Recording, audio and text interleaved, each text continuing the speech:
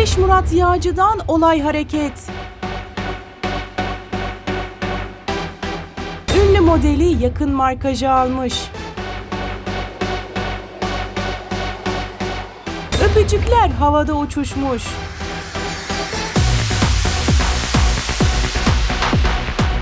Nisa Bölükbaşı o yorumları görünce ne yapacak?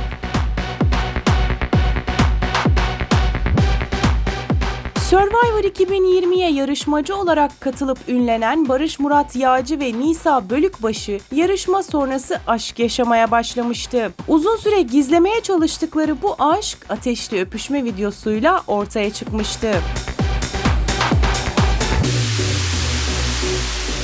Kardeşim gibi diye bahsettiği Nisa ile sevgili olması Barış Murat Yağcı'yı eleştiri oklarının hedefi haline getirmişti. Aslında Nisa ile aynı takımda olmak gurur verici bir durum.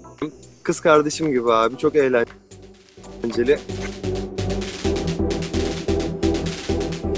Uzun süredir gözler önünde aşk yaşayan ikili yakın zaman önce bir dövme krizi yaşamıştı. Dövme silme araştırmalarına başladınız mı? Hanımefendinin açıklaması vardı. Ee, Nisa Bölükbaşı Barış Murat Yağcı'nın eski sevgilisi için yaptırdığı dövmeyi sildirmesini istiyordu. Ee, siz de ilişki yaşamışsınızdır ve dövme e, seven var, sevmeyen var. Ee, benim için benim dövmelerimin birçoğunun anlamı var, birçoğunda yok.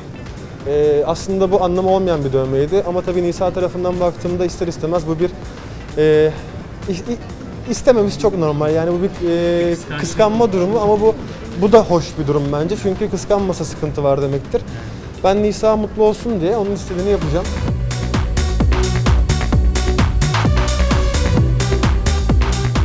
Şimdi de sırada Instagram krizi var gibi duruyor.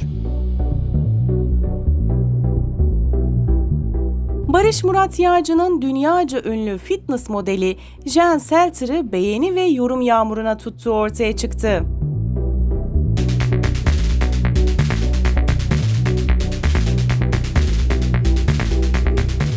Yağcı 2018 yılında Selter'ın paylaştığı neredeyse her fotoğrafı beğenip yorum atmış. Yağcı'nın ünlü fitness modeline sık sık öpücük emojisi atması da dikkat çekti.